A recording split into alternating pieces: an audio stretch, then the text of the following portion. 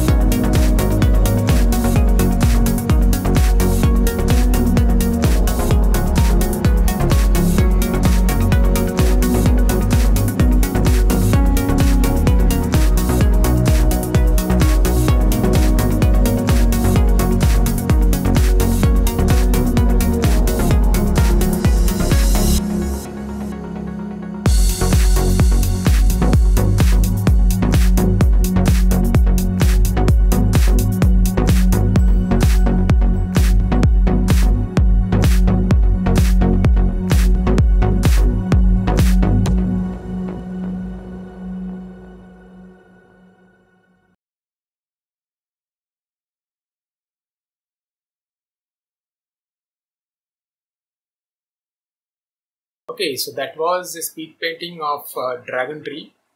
Hope you have liked the video. If yes, then please click the digital pastel logo on top to subscribe. Put your comments below, click on the like button, share with friends. Okay, so that's it for today. Meet you in the next video.